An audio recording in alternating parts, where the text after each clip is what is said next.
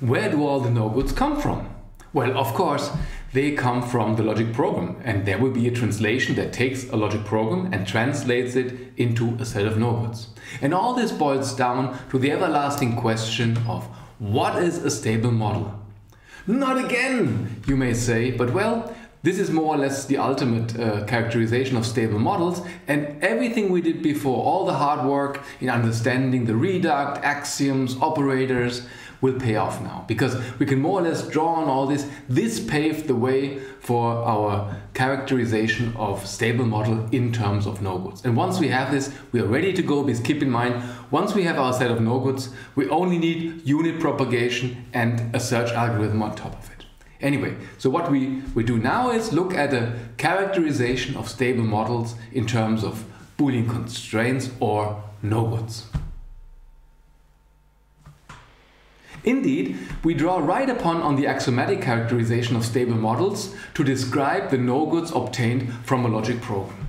And accordingly, we first look at the no-goods obtained from completion formulas and then at the ones obtained from loop formulas. First of all, recall from the part on the axiomatic characterization that completion gives us a set of equivalences. It says that an atom is equivalent to the disjunction of all bodies of rules in which the atom appears at, as the head.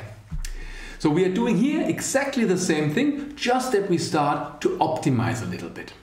So here is more or less the skeleton of the completion formula that we are looking at. So first of all, the notation below. Here we simply collect all bodies of rules that have the atom A in the head.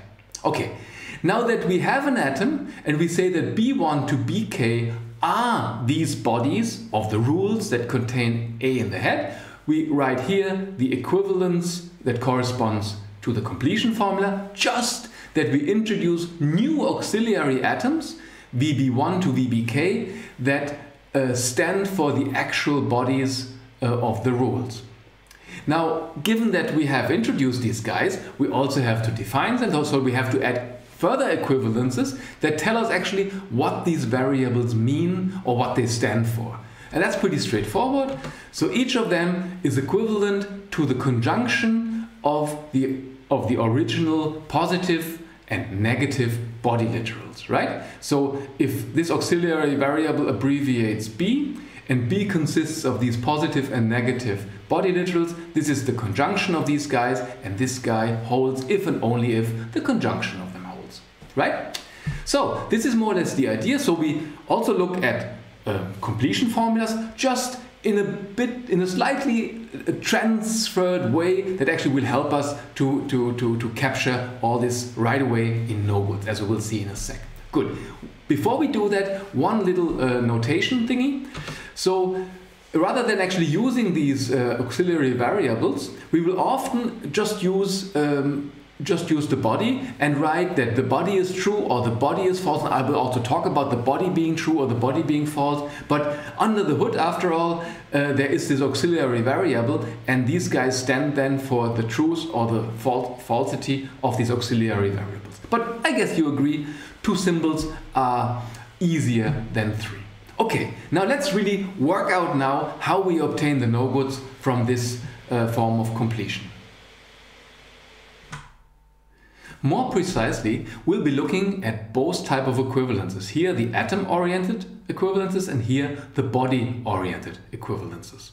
So let's actually start with the second one because after all, uh, this is just the encoding of a conjunction. So a variable is equivalent to a conjunction of literals. And then in turn, we do the atom-oriented one. So let's get going. So here it is again, what I call a body-oriented equivalence, which says that, well, a body is true if and only if the conjunction of all positive and negative body literals hold, right? Well, keep in mind that an equivalence like this is actually a bidirectional implication that runs from one side to the other and the other way around. And what we will do now is more or less we will decompose this equivalences into both uh, implications. So the first one we look at is this one, which says, oh, if the body is true, then all the body literals must hold.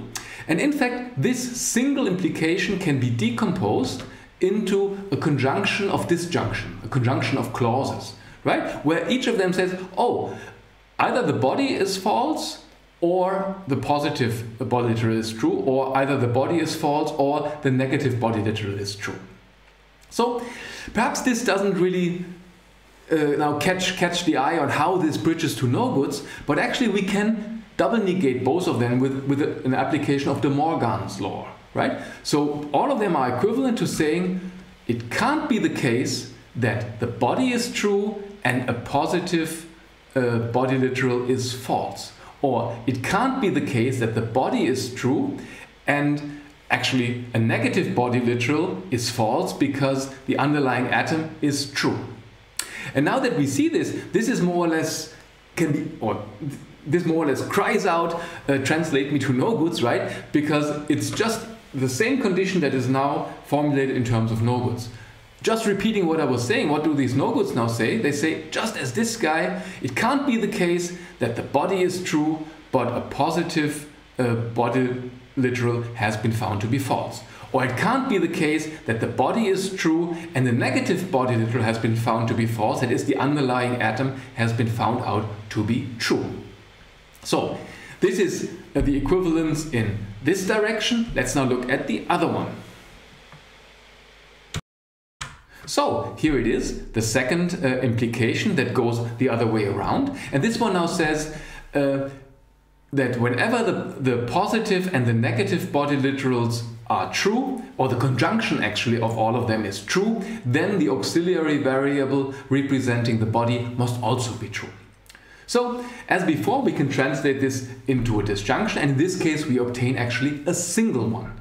So here it is, um, which is a, straightforward uh, a, translation, of course, but what actually really makes this interesting if, if we apply again the trick of double negating the disjunction by applying De Morgan's law. So then what it says is the following. So it says that it cannot be the case that the conjunction of all the positive and the negative body literals is true and the body is false at the same time right? And again this is uh, this already is, is directly what what it should be expressed by a no good and we can translate it and map this directly into the corresponding no good. Here it is. The only thing that i've done i've actually moved the body variable to the front and now what this no good says it can't be the case that the body is false but all of its body literals are true. And again, a positive body literal is true if the atom is true, and a negative one is true if the underlying atom is false. Okay, so this is now uh, the translation of the body-oriented equivalence into no goods. And we've seen that we get two different sets. Now let's actually look how this works with the atom-oriented equivalence. Okay, here it is, the atom-oriented equivalence, saying that an atom is true if and only if one of the bodies of the rules that has this atom in the head has also become true. Just that here again we don't talk about the bodies, but uh, auxiliary variables that serve as representatives for these guys. So also I will not now develop uh, the corresponding no-goods, the two sets that we get here from this equivalence, but perhaps let you pause this video and work it out yourself. So after all, the schema is the same. You take the equivalence, decompose it in two implications, then you do the logical transformation, you apply De Morgan's law, and in one case, for one implication, you get this set of no-goods, and for the other one, you get this. So, well, enjoy doing the translation. I think it's, it's pretty straightforward. Anyway, so now that you have seen which no-goods are obtained from the completion formula, let's see them in action and let's look at some examples. So this time, let's start with the atom-oriented no-goods and observe them in action. Okay, so whenever we have an atom A that appears as the head of k rules whose bodies are B1 to Bk, we get k plus 1 no-goods. Now the first one says it cannot be the case that the atom is true, but all rules that have this atom in the head are inapplicable because the respective bodies are all false. The other no goods say, well, it can't be the case that the atom is false, but one rule that has this atom in the head is actually applicable because its body is true. And there we have k of them. Okay, now this is the abstract uh, way we get actually uh, no goods from the atom oriented completion form or completion formula, that is the equivalence we've seen before. Let's now look at a more precise example. So here it is. We just look at two rules. Both of them has, have x in the head. Hence we associate with x the bodies in which y occurs and not z occurs. And this is exactly expressed by, by this uh, equation here, right? All the bodies in the program P of the rules that have x in the head are the body that contains y and the body that contains non-z. And accordingly, we get these three no-goods. Now again, the first one says it cannot be the case that x is true, but both bodies have been found to be false. And the other one say it cannot be the case that x is false, but the body of the first rule has been found to be applicable, or has been found to be true. Or the second one, says it cannot be that x is false, but the second rule could apply, right? Because there the body has been found to be applicable. Okay, now with this example, let's actually see what type of inferences we can get. And for this, we simply pick one of the no-goods, and I just picked uh, this first one with uh, three literals, and we just observe the inferences we can get with this no-good. Now, we take this no-good, and what we start with is, is an assignment, right? And in this assignment, uh, both bodies have been found out to be false. This means actually all but one literal of our no good are in the current assignment. Hence, uh, we, we cannot actually see to adding this remaining literal and we can deduce its complement. So we can actually deduce from the fact that both bodies are false that also x must be false. Now let's look at this in the program. So if we found out that both bodies have been found out to be false, we can unit propagation gives us that x is false and this actually means none of the rules that could provide x apply hence also x must be false. And this is now reflected by this type of unit propagation on the no good uh, level. So second example. So again same no good just now we look at another uh, assignment. Here we look at the assignment where x actually is true but the body of the first rule has been found to be false so in this case, again, all but one literal of the no good uh, are in the assignment. Hence, we can derive the complement of the remaining one, which actually is this guy. Hence, we can derive that since, after all, x is true and the first rule is inapplicable, the second one must have uh, be responsible for the derivation of the atom, which makes perfect sense, right? Let's look at this on the program level. So here again, this is our situation we, we for some reason we, we, we assign x the value true and the body that contains y the value false. And this means actually that x is actually true but this rule has been found to be applicable because this body has been found out to be false. Accordingly the only chance to make x true is actually that this body here uh, is true. And this is actually what we derive yeah, I guess this shows nicely actually how the inferences on the program level are mirrored by uh, no-good propagation, unit propagation on the no-goods. Okay, now that we did this for the atom-oriented no-good, let's look at on how this works for body-oriented no-goods. Recall that the purpose of body-oriented no-goods is to link the truth value of the auxiliary variable representing the body with the actual body literals.